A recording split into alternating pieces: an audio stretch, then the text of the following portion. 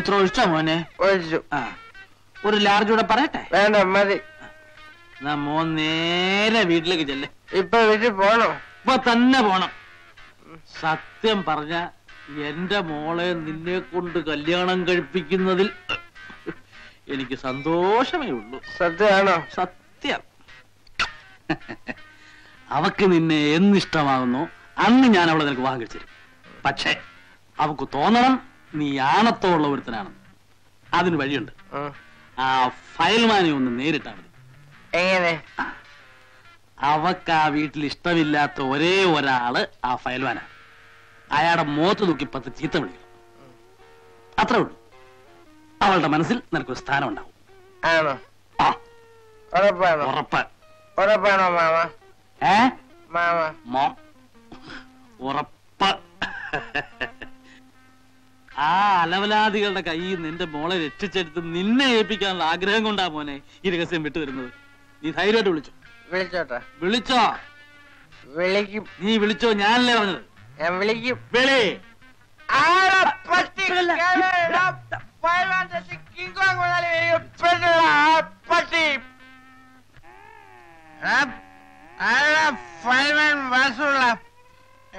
നിന്റെ അന്ത്യമായ ഇന്ന്. അയ്യോ കില്ലു എവിടെ? എവിടെ? ആ?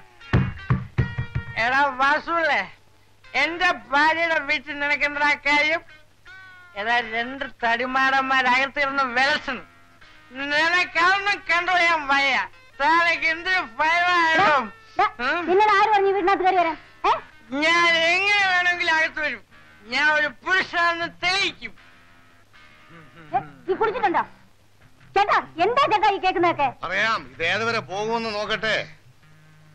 ആണുങ്ങൾ കരുപിടിക്കും ഉം? സ്നേഹമുള്ള ഭാര്യ ഞാൻ കൂടി നിർത്തുകയും ചെയ്യും. പക്ഷെ ശത്രുവിനെ കുത്തി വളർത്താൻ വേണ്ടി എനിക്ക് ആരുടെയും ഔദാര്യം ആവശ്യമില്ല. ആരടാ നിന്റെ ശത്രു? നീ തന്നെ.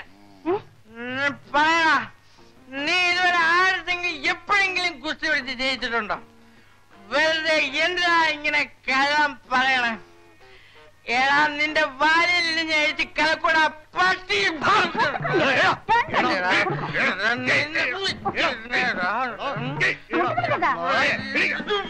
നിന്നെ കൊന്നാലും ഒരു മനുഷ്യനെ പടിയിൽ കണ്ടുപോകും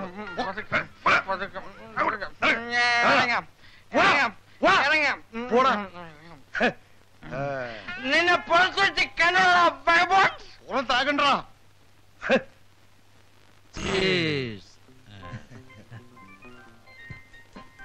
ഇതെന്തിനാണെന്നറിയാമോ?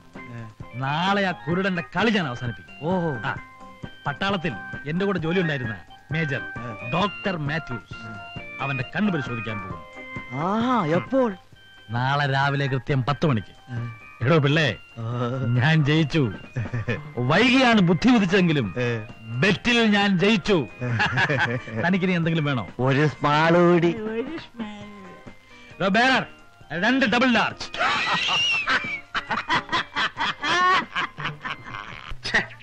കാണുന്നില്ലല്ലോ മോളെ. ആരാച്ചാ അച്ഛാ? ഞാൻ പറഞ്ഞില്ലേ ഇന്ന് എന്റെ ഒരു ഫ്രണ്ട് വരുന്നു. എന്റെ കൂടെ സർവീസിൽ ഉണ്ടായിരുന്ന ആളാ. വളരെ പ്രസിദ്ധനായ ഒരു കണ്ണു ഡോക്ടർ ഇപ്പൊ സമയം എന്തിനാ എന്തിനാ? എനിക്ക് അത്യാവശ്യമായി പുറത്തു പോകണമായിരുന്നു. ഞാൻ മറന്നുപോയി ഇപ്പോഴോർത്തത് മീനു എന്നെ ഒന്ന് കൊണ്ടുപോകാമോ?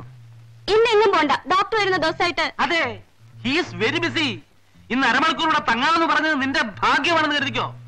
അല്ല അടുത്ത മാസം എന്നെ അമേരിക്കയ്ക്ക് കൊണ്ടുപോകാൻ. എന്റെ അമ്മാവൻ ടിക്കറ്റ് ഒരു ബുക്ക് ചെയ്ത് കഴിഞ്ഞു. അവിടെ പോയിട്ട് വേണം വിശദമായ ഒരു പരിശോധന നടത്താൻ. നമുക്കിറങ്ങാം. അമേരിക്കയിലോ റഷ്യയിലോ എവിടെ വേണേ പൊക്കോ. പക്ഷെ ആരും അറിയാവുന്ന ഒരാളെ കൊണ്ട് പരിശോധിപ്പിക്കുന്നുണ്ടെന്നാ കുഴപ്പം? അല്ല കുഴപ്പമുണ്ടായിട്ടല്ല. പക്ഷേ അമേരിക്ക പോകുന്നതിന് മുമ്പ് മറ്റാരെ കൊണ്ടും ചികിത്സിപ്പിക്കില്ല എന്ന് ഞാൻ വാക്ക് കൊടുത്തു. എന്താ മോളെ? കണ്ണിനേക്കാ വലുതല്ലോ വാക്ക്. നമ്മൾ ചികിത്സിക്കുന്നില്ലല്ലോ പരിശോധിപ്പിക്കുന്നില്ലേ ഉള്ളൂ? അച്ഛൻ പറയുന്ന അനുസരിക്കു ഗോവിന്ദ്. ഇങ്ങനെ ഒരു അവസരം ഇനി കിട്ടിയെന്ന് വരില്ല. അനുസരിച്ചാ ഞാൻ ബെറ്റി തോറ്റു പോകും എന്ത് ബെറ്റ്? അല്ല അത് അമ്മാവനുമായി ഞാനൊരു ബെറ്റ് വെച്ചിട്ടുണ്ട്. അമേരിക്ക പോകുന്നതിന് മുമ്പ് വേറെ ഒരു ഡോക്ടറെ ഞാൻ എന്റെ കണ്ണ് കാണിക്കില്ലെന്ന്. ബെറ്റിൽ അങ്ങനെ ഒരു നിയമമുള്ളതായിട്ട് ഞാൻ എവിടെയും കേട്ടിട്ടില്ല. വന്നു. കാലൻ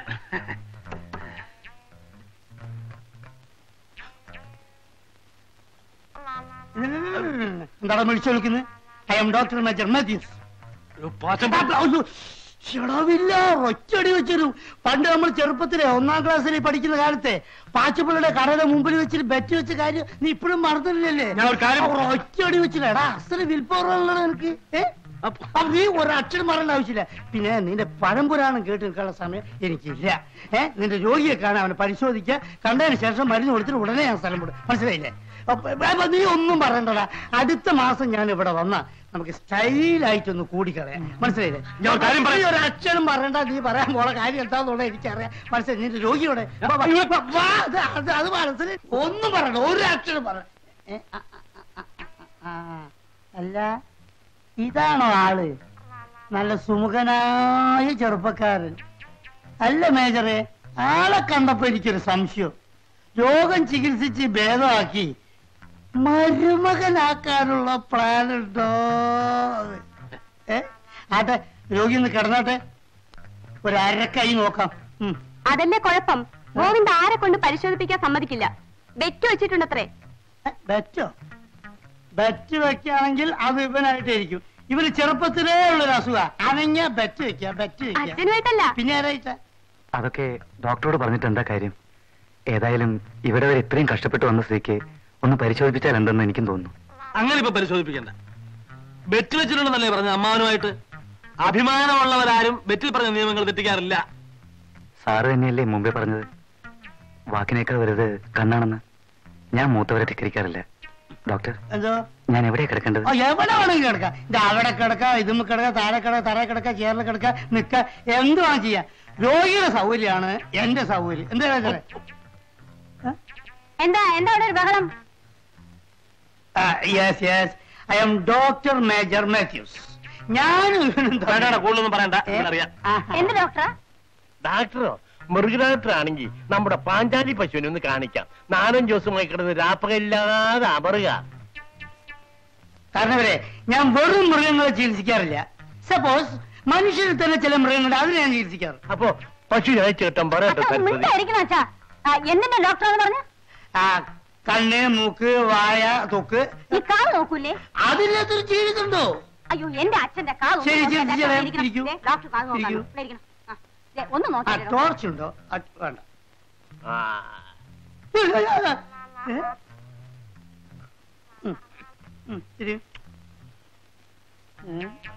ഇതിനകത്ത് ഒന്നും കാണുന്നില്ലല്ലോ. അയ്യോ എന്ത് ചെയ്യും ഡോക്ടർ? ഒരൊറ്റ വഴിയുള്ള ഒരു മൈക്ക് സെറ്റ് വാങ്ങിട്ട് ഇവിടെ കെട്ടി തൂക്ക അനസ്റ്റ് ഡാക്ടർ പോകുമ്പോഴേ ആ നെക്കുകളൊക്കെ എനിക്കൊന്ന് തന്നേച്ചു പോണം. രാത്രി പറമ്പിൽ മൂത്രമൊഴിക്കാൻ ഇറങ്ങുമ്പോ ഒന്ന് വെട്ടം കാണാനാ. ആ ഭയപ്പെടാനൊന്നുമില്ല. ഒരു മൈനർ ഓപ്പറേഷൻ കൊണ്ട് പഴയ കാഴ്ച തിരിച്ചു വിട്ടു പക്ഷെ ഒന്ന് പുറത്ത് പോയിട്ട് ഒന്ന് വിശുദ്ധായിട്ട് ഒന്ന് പരിശോധിക്കണം എഴുന്നേൽക്കൂ. ഞാൻ വേറൊരു ഡോക്ടറെ വരാം. ഞാൻ തോന്നുന്നില്ലാണ് വേറൊരു ഡോക്ടർ താൻ വരുന്നുണ്ട് എന്റെ കൂടെ? ഇല്ല സൗകര്യമായിട്ട് കണ്ടോളാം. ആ എന്നാ ഈ പെട്ടിയെടുത്ത് കാറിൽ നോക്കി? വേണ്ട ഞാൻ വെച്ചോളാം.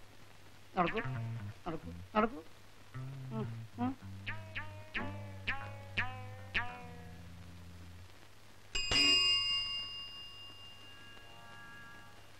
Good morning. പലരും പറഞ്ഞ് രാവിലെ മുതൽ അന്വേഷിക്കുകയാണെന്ന്. എന്താ കാര്യം? തന്നെ ഒന്ന് കാണണമെന്ന് തോന്നി. അതിന് പ്രത്യേകിച്ച് കാരണമല്ല വേണം. ഓ വെള്ളം അടിക്കാൻ കമ്പനി വേണമായിരിക്കും. രാത്രി പോലെ എനിക്ക് വീട്ടിൽ പോകണം ഓ ആത്മാർത്ഥ സുഹൃത്തുക്കളേക്കാൾ വലുതല്ല വീടും കുട്ടികളും കുടുംബവും ഒന്നും. മനസ്സിലായില്ലേ? തന്നെ ഞാനെന്താ എന്റെ ആത്മാർത്ഥ സുഹൃത്തായിട്ട് കൊണ്ടു കിടക്കുന്നത് അത് എന്റെ ഒരു ഒരു ഒരു- ഒരിതുമല്ല. അവിടെ പാത്രം കഴുകലും തുണികളൊക്കെ ആയിരുന്നു ജോലിയെങ്കിലും. താനും പണ്ടൊരു പട്ടാളക്കാരനായിരുന്നല്ലോ എന്ന് വെച്ചിട്ടാ. മനസ്സിലായോ? എനിക്കും എന്റെ സുഹൃത്തുക്കളോ ഏറ്റവും വലുത്. ആണല്ലോ. അല്ലേ? തനിക്കൊരു സമ്മാനം കൊണ്ടുവന്നിട്ടുണ്ട്. എവിടെ. അതിനു മുമ്പ് താൻ എനിക്കൊരു ഉപകാരം ചെയ്തു. തീർച്ചയായും. ഞാൻ ഒരു രഹസ്യം തന്നോട് പറയാം. അത് താൻ നേരെ ചെന്ന കണ്ണുപൊട്ടനോടോ അല്ലെങ്കിൽ ആ മുറുക്കാൻ കടക്കാരൻ പാച്ചമ്മനോടോ ചെന്ന് പറയണം. അതിനെന്താ? പറയാമല്ലോ. അല്ല നമ്മൾ തമ്മിലുള്ള രഹസ്യം എന്തിനാ അവരോട് പോയി പറയുന്നത്? തന്റെ ഒരു സന്തോഷത്തിന്.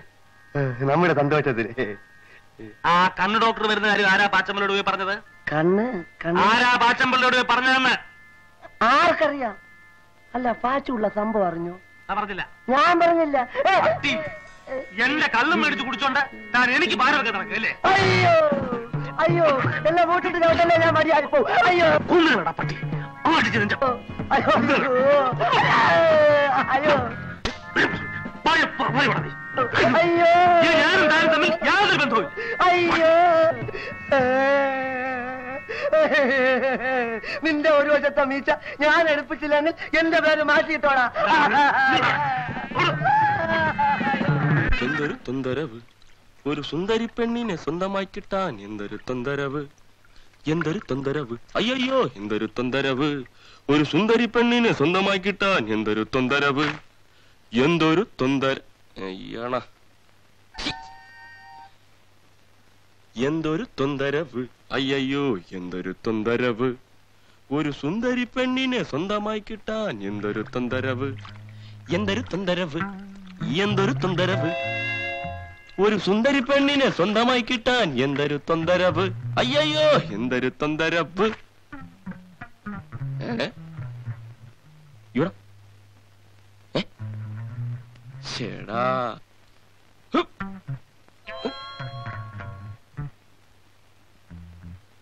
പല തവണ ആ എംബോക്കെ നീ വെറുതെ വിട്ടു. എങ്ങാണ്ടൊന്ന് വന്ന ഒരു തെണ്ടി ഈ തറവാടിന് മാനം കളയുമല്ലോ ഭഗവാനെ. നിങ്ങൾ എന്തായി പറയുന്നത്? നിന്റെ ആ വിശ്വസ്തനായ വേലക്കാരനുണ്ടല്ലോ. അവൻ അവൻ ആ, ഒന്ന് പറ. ആ, പോയി നോക്ക്. എവിടെ? ചെല്ലേ. ദേ ഞാൻ അവിടെ പുറയിൽ പുറയിൽ എന്നോട് പറഞ്ഞാൽ ഞാൻ എടുത്തു തരുമായിരുന്നല്ലോ. സാരമില്ല.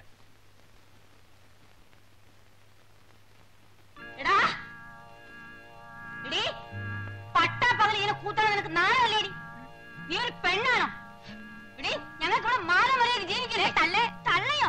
തള്ള നിന്റെ. എന്നെ കൊണ്ട് പറയിപ്പിക്കരുത്. അമ്മ അമ്മേ ഈ കാറ്റ് വന്നിട്ട് ഇതിന്റെ നീ മതിലോട് ഇപ്പുറത്ത് വരണ്ട. അവിടെ തന്നെ പോയി താമസിച്ചോ. അയ്യോ യഥാർത്ഥത്തിൽ സംഭവിച്ചത്. അയ്യോ ഞാൻ ആരോട് പറയും? വലിയ പണക്കാരിയാണെന്നുള്ള ഭാവം നീ എന്റെ അടുത്ത് കാണിക്കണ്ട. തൊലി വെളുത്ത ചെറുപ്പക്കാരെ ജോലിക്ക് നിർത്തിയിരിക്കുന്നത് എന്തിനാണെന്ന് എനിക്കറിയാം. ഇടി നിന്നെ ഞാൻ തെമ്മാർത്തമ്മണ്ടല്ലോ ഇവിടെ ചോദിക്കാൻ പറയാൻ ആളുണ്ട്. എന്റെ ഭാര്യയെ പറ്റി അനാവശ്യം പറയാനുണ്ടല്ലോ എന്റെ ഭാര്യയ്ക്ക് എത്ര ഭർത്താക്കന്മാരാണ് നിലവിലുള്ളത് അമ്മ ആകെ തെറ്റിദ്ധരിച്ചിരിക്കുക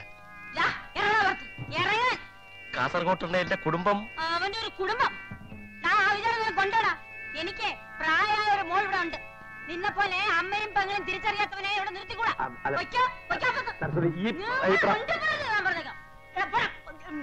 അതിലൂടെ. പോ. കാറ്റ് വന്ന് ഇതിന്റെ